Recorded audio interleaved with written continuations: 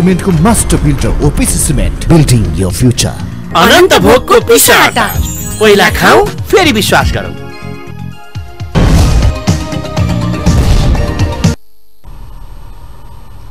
दर्शक नमस्कार कार्यक्रम बुद्धराजको नयाँ श्रृङ्खलामा हार्दिक स्वागत छ।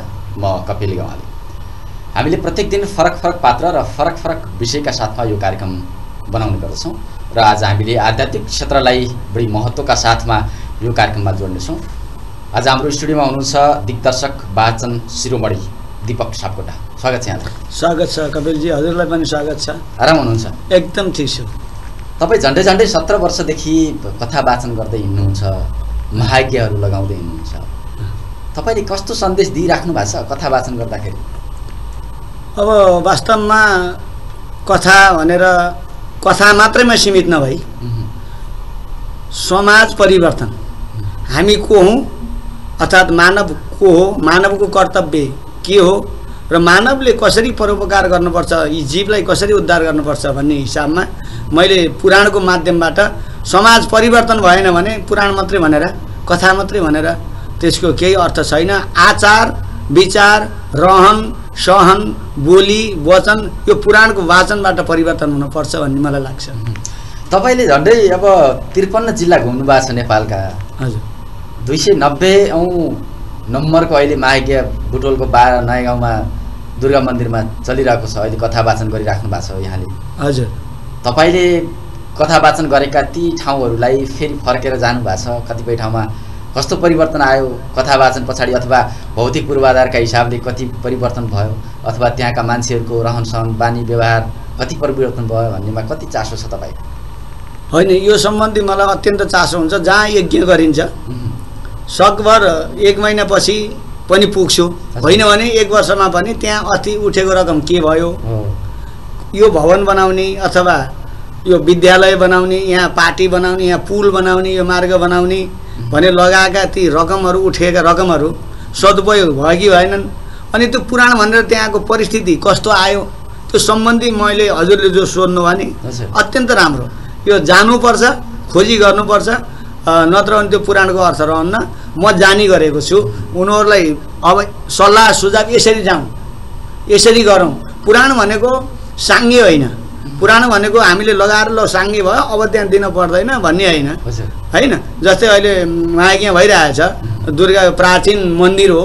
प्राचीन भन्दा मतलब अब यहाँ कुनै साल किटान छैन। है परम्परागतदेखि चलिआएको अत्यन्त पुरानो मन्दिर रहेछ।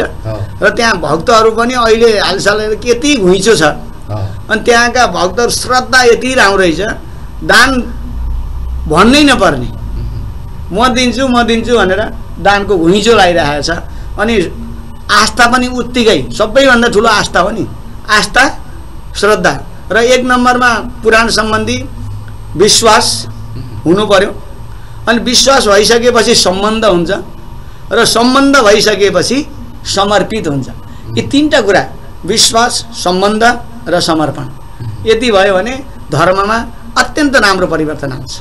अब तपाईँले समाज परिवर्तनको यो एउटा अभियान पनि हो। धर्मबाट समाज परिवर्तन समाज रूपान्तरण अथवा समुन्नत समाज निर्माणका लागि यो अभियानमा हिँड्नु भएको छ। कथा वाचन मात्रै महत्त्वपूर्ण कुरा होइन।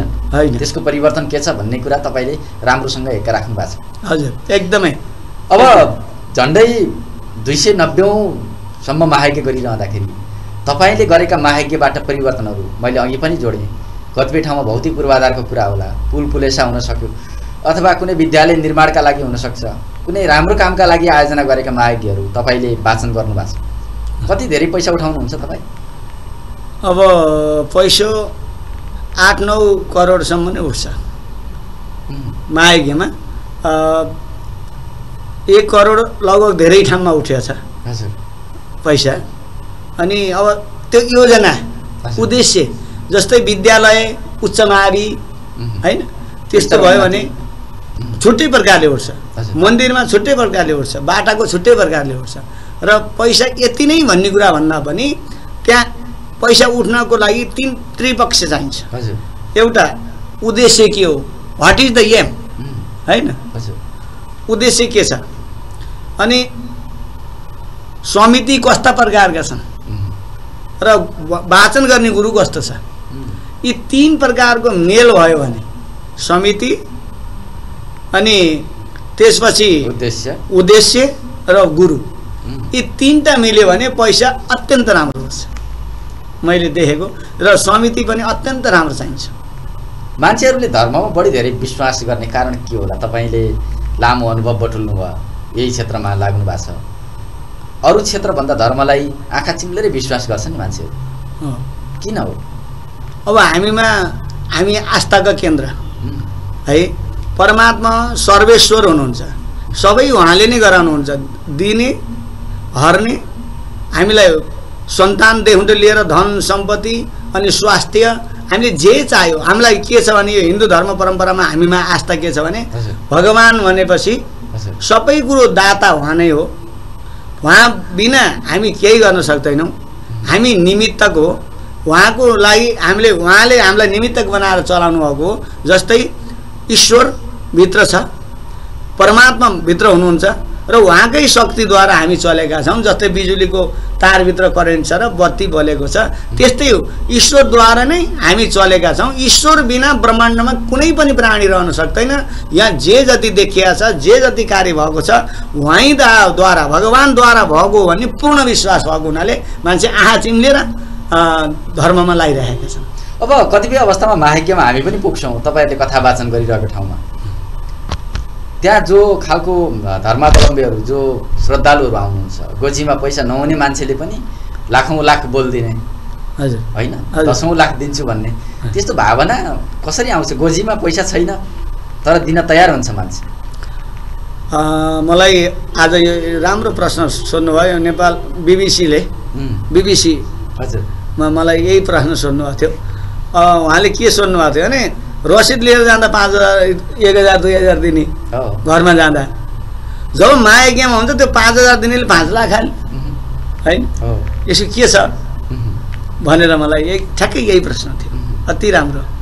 र यसमा के छ भने कपिलजी? एउटा उत्साह आउँछ। सारा हजारौँ मान्छे अगाडि हुनुहुन्छ। अनि बाजा बजाएर ल्याउँदा। अथवा बाजा नबजाए पनि त्यहाँ आउँदा ती हाम्रा ती भनौँ न खैँजरी मुजुराहरूका बाजा रन रनन बज्दा र अनि अगाडि आएर नाम उद्घोष गर्दाखेरि र अरू अरूले दिएको दानमा दिँदाखेरि मैले पनि दिन पाएँ। म पनि त केही कीर्ति राख्न पाएँ। म पनि त आखिर मलाई पनि त भगवान्ले जन्माउनुभएको मलाई पनि त परमात्माले केही सम्पत्ति त दिनुभएको छ। उहाँले दिएपछि मैले पनि त केही दिनुपर्छ भन्ने भाव अटोमेटिकली मायाज्ञामा जाग्छ। तर घरमा जाँदा जाग्दैन। किनभने हजारौँ मान्छेको सामु जस्तै सम्मान गर्नु र एउटा व्यक्तिको अगाडि सम्मान गर्नु धेरै फरक छ। तसर्थ हामीले महायज्ञमा यो विशेष गरी के हुन्छ भने फेरि अरू बेलामा सम्झाउन गाह्रो हुन्छ। महायज्ञमा के भनेर सम्झाइन्छ भने सारा सम्पत्ति भनेको छोडेर जाने हो कत्र जस्तै हरिश्चन्द्र राजा उम्, पनि त रित्तै जानुभयो होइन र? अब युधिष्ठिर राजा जस्ता नल राजा जस्ता यी सबै रित्तै गए।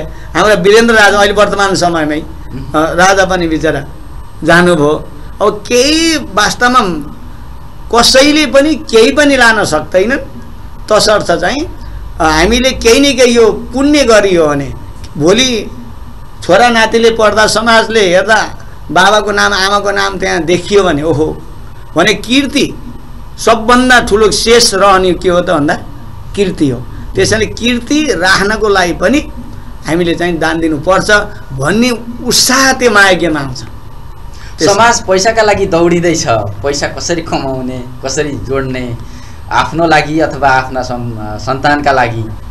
कसरी जोड्ने भन्नेतिर बढी केन्द्रित भएको अवस्थामा तपाईँहरूले दान गर्नुहोस् भगवान्ले पुर्याउनुहुन्छ भनेर हिँड्नुहुन्छ। त्यो कति सान्दर्भिक हुन्छ? मान्छेहरू त्यति छिटो पग्लिहाल्छन् होइन भगवान्ले आँटेमा यो त विश्वास मैले अहिले भने विश्वास भएन भने हुँदैन है। होइन? जस्तै विश्वास भएन भने खोइ अब डक्टर कहाँ हजुर जानुभयो भने? त्यो यो औषधिले हजुरलाई सन्चो हुन्छ भनेर डक्टरले दिए पनि हजुरले चाहिँ खोइ डक्टर कहाँ गयो हुन्छै हुँदैन भन्नु भने त्यो औषधिले काम गर्दैन है? तर हुन्छ अब मलाई सन्चो हुन्छ भने खानु भने त्यो औषधिले काम गर्छ। एक नम्बरमा विश्वास हो। त्यस कारण विश्वास भइसकेपछि यसमा पूर्णता हुन्छ। यो कुनै अर्थ जस्तै अब राजालाई रङ्काना भनेको सडकको रोडपति भनौँ न र रोडपतिलाई करोडपति बनाउन सक्छ ईश्वरले। यो गणेश पुराणमा पनि उल्लेखित गरी। यो सबै कृपा भगवान्को हो। र त्यस कारण हामीले यो घर सम्पत्ति जोड्ने यो नजोड्ने भने होइन किनकि खान पऱ्यो नि लाउन पऱ्यो अब समाज हेर्न पऱ्यो घर हेर्न पऱ्यो परिवार हेर्न पऱ्यो विवाह गरिसकेपछि गृहस्थी भइसकेपछि घरलाई नै अब भनेको छ शास्त्रमा घर राखेर दान गर होइन? शरीर बचाएर धर्म गर। किन भोलि शरीरै हस्पिटलमा लाने गरी व्रत बस्न पनि हुँदैन। र दान गर्ने भने उत्साह र दानै स्वाटै घरैसहित दान गऱ्यो भने भोलि कहाँ भने यसरी दान पनि श्रेणी हुन्छन्। ठिक्क गरेर दान गर्नुपर्छ। अब हजुरले एउटा विषय जोड्नुभयो। मैले यो प्रश्न तपाईँलाई राख्छु भनेर भनेकै थिएँ। र कतिपयले एउटा जोस उत्साहमा होइन माइकीमा सहभागी हुँदाखेरि दान गर्ने। तर घरमा चाहिँ पैसा नहुने अवस्था अथवा दान गरे पछाडि आफ्नो सम्पत्ति सबै दान गरेर सकेका मान्छेहरू पनि हामीले भेट्छौँ कहिलेकाहीँ। कहिलेकाहीँ दान गरेर पछुताउने मान्छे पनि भेट्छौँ। उहाँहरूलाई के भन्नुहुन्छ? दान गरेर पछुताएको मैले पाएको छैन। हजुरहरूले पाउनु होइन? पाउनु भएको छैन। तर मैले जस्तो सजिलै घर व्यवहार चलेका मान्छेले घर सल्लाह बिना नै दान गर्यो। हो त्यो होइन कहीँ त्यस्तो हुन्छ। समस्या भएको। हो त्यो भने गर्नुहुन्न। मैले त्यसरी यही नीति अपनाउँछु। मैले अहिले पुराण जहाँ वाचन गरेको छु नि मैले यही भनेको छु। हजुरले बहुत राम्रो गर्नु। अब घरको सल्लाह बिना दान नदिनुहोस्। हो। छोरा बुहारी नाति नातिना को को छन् सल्लाह गर्नुपर्ने। जस्तै यहाँ उत्साह आयो। तपाईँ मनि दस लाख बोलेर गएँ घर गएपछि किन बोल्नुभयो? हो के छ र दिने उम्, भनेर भोलिपल्ट त छोरा बुहारी करायो भन्दै आयो भने त मजा भएन नि। त्यस कारण मेरो नीति पनि हजुरले जो भन्नुभयो त्यही नै छ। घरको सल्लाह बिना दान नदिनु र आफ्नो शक्ति बाहेक पनि दान नदिनु र दान दिएर पछि व्यर्थै बोलेछु। भन्ने गरी दान दिनै हुँदैन। त्यसरी नदिनु होइन? त्यसरी नदिनु। अब कतिपय मायकीहरूमा पैसालाई नै बढी महत्त्व दिने पनि प्रचलन हामीले देखेका छौँ। यहाँ सहभागी हुने मायकेलमा पैसालाई महत्त्व दिनुहुन्छ कि? अघि तपाईँले भने जस्तो एक खालको अभियान परोपकारलाई पनि जोडेर समाज रूपान्तरणका लागि केलाई महत्त्व दिनुहुन्छ? अब मैले अब एउटा कुरा त अहिले कस्तो समय आयो भने अहिलेको एउटा समय यस्तो आएको छ। जस्तै त्यहाँ एउटा मन्दिर बनाउनु छ एउटा विद्यालय बनाउनु छ। त्यहाँ आज कति उठ्यो? आज तिस लाख एकै दिन उठ्यो। आज धेरै राम्रो भएको छ। अनि आज गुरुले के प्रवचन गर्नुभयो? त्यो छैन। अहिले समाज आज गुरुले के के ज्ञानका कुराहरू पस्किनु भयो ज्ञान हामीलाई के के दिनुभयो? कथा कुन कुन आए? त्यो होइन। आज तिस लाख उठ्यो आज राम्रो। र त्यो दिन पाँच लाख नै उठेन एक हजार दुई हजार दस हजार मात्रै उठ्यो भने आज खत्तम भयो उम्, त्यो गुरुको प्रवचनको त्यहाँ कुनै भ्यालु भएन। भएन। त्यसमा मैले त यो भन्छु कि कर्म गर्दै जाऊ फलको आशा। राख्ने हुन्न गीताले नि भनेको छ कर्म गर्ने फलको आशा। नराख्ने त्यो अटोमेटिकली पूर्ण हुन्छ। मेरो नीति के हो भने अब समाजमा कुनै पनि कार्य गरिन्छ भने त्यसको आशै राखेर पैसाकै पछि दौडन हुँदैन। पैसा पछि म दौडन्न। त्यो त दिइहाल्नुहुन्छ। भगवान्ले जन्माएपछि। त्यो त अब एउटा उद्देश्य गरेपछि हेर्ने जिम्मा भगवान्को। त्यहाँ दुर्गा मन्दिर बनाउन लागि छ प्राचीन काल हो त्यसलाई पूर्णता होइन? अब त्यो त दुर्गा माताले गर्ने कर्तव्य हामी पण्डित किन पैसै पैसा भन्नु पऱ्यो र होइन किन दुर्गाले नै आफ्नो निर्माणको लागि होइन? आफ्नो भवनको लागि त दुर्गा माताको कृपा मिलिहाल्छ नि। हजुर। त्यसैले जुन जहाँ उद्देश्य गरेका छ कृपा स्वतः भगवान्ले नै गर्नुहुन्छ हामी दौडनु पर्दैन पैसापछि। अब हजुरले सत्र वर्षदेखि कथा वाचन गर्नु भएको छ महायज्ञबाट। अब यहाँबाट तपाईँले सिकेको कुरा के हो? अब लामो समयदेखि यही विद्या अध्ययन गर्नुभयो र समाजका लागि योगदान पनि गर्दै हुनुहुन्छ अहिले। हजुर। सत्र वर्षमा तपाईँले के सिक्नु अब मैले वास्तवमा के सिकेँ भने र अरूले पनि सिक्न पर्ने। होइन वास्तवमा जीवन आखिर केही पनि रहेनछ हामी दौडेको छ दौडेको छ दौडेको छ अन्तिममा केही लानु रहेनछ त्यस कारण जीवनमा समाज परिवर्तन गर्न सकियो भने ओहो फलानु बे जस्तै कपिलजी हजुर चाहिँ गाउँमा जानुभयो भने आज कपिलजी बाबु कपिल बाबु आउने रहेछन् एकछिन भयो नि भेट भएर कपिल बाबुसँग बोल्न मन लाग्यो भनेर गाउँलेहरू आएर कपिल बाबुसँग कुरा गरे भने त्यो एउटा राम्रोपन भयो। तर कपिल आउँदा भो अब यो ढोकेसक लाएर हिँड्ने उसँग बोल्न मन छैन भन्यो भने त्यो कुनै अर्थ रहेन। त्यसैले मान्छे यो मैले यो बुझेँ कि समाजको प्रिय पात्र र भगवान्को प्रिय पात्र साम समाजको र भगवान्को प्रिय पात्र बन्न सक्यो भने त्यसो सबैभन्दा ठुलो सम्पत्ति त्यो रहेछ।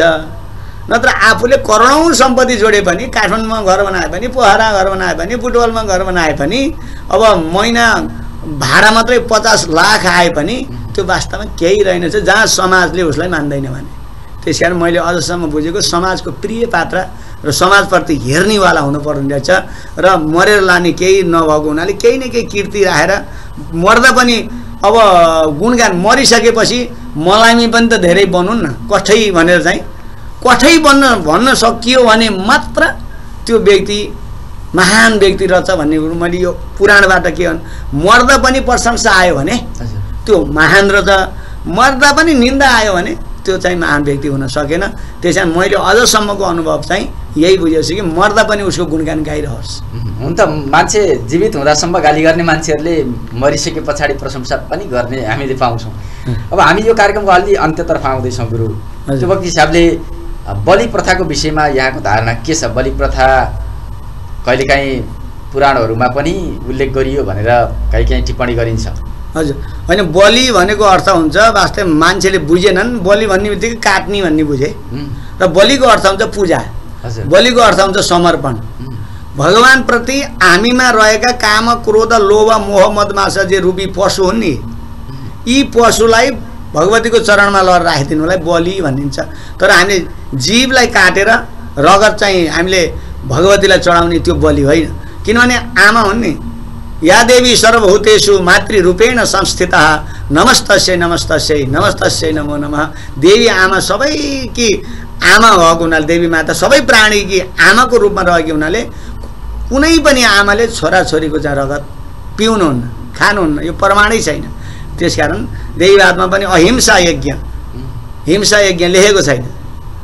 तृतीय स्कन्धमा लेखेको छ। अहिंसा हुनुपर्छ देवीको यज्ञ भनेर लेखेको छ। त्यस कारण यहाँ मान्छेले बुझेनन्।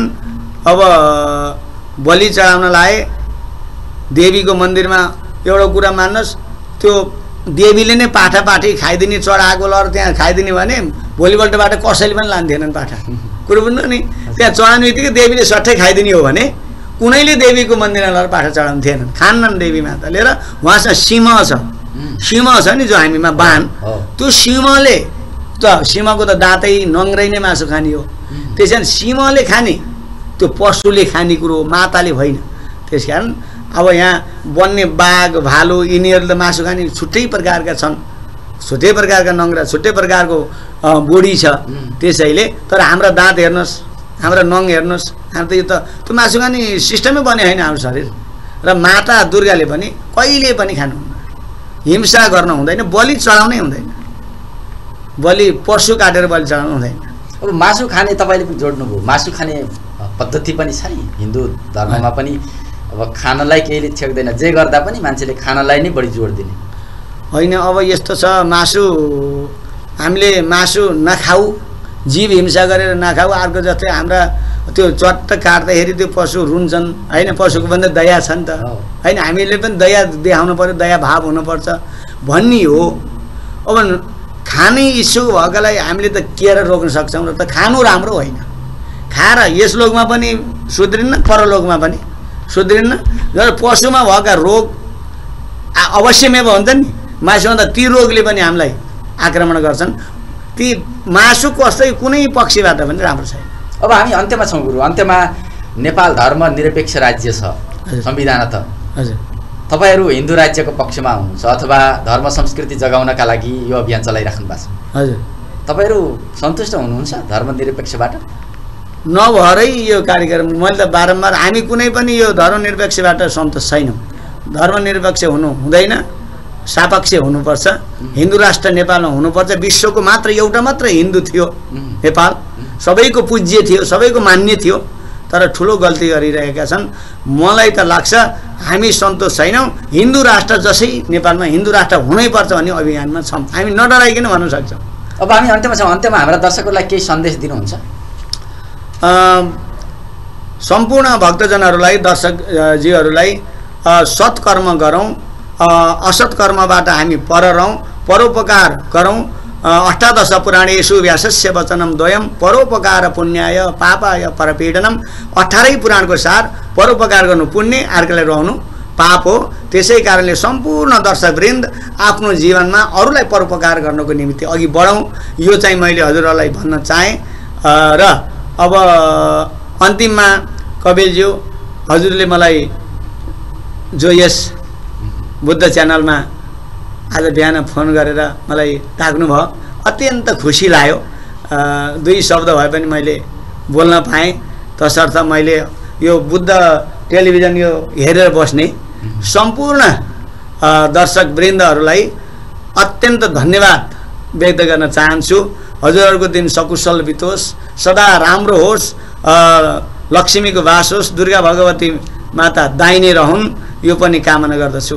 र हाम्रा नरेश प्राविधिक मित्र नरेश भाइलाई पनि म धन्यवाद व्यक्त गर्न चाहन्छु। धन्यवाद यहाँलाई समय सम्वादका लागि। हस् धन्यवाद कविल दर्शकहरू आज हामीले बुद्धराइजमा रहेर कुराकानी गऱ्यौँ दिग्दर्शक वाचन शिरोमणि पण्डित दीपक सापकोटासँग। आजको कुराकानी कस्तो रह्यो केही प्रतिक्रिया भएको खण्डमा हामीलाई पठाउनुहोला। आजका लागि समय सकिएको छ। कपिल गेवाललाई पनि नमस्ते।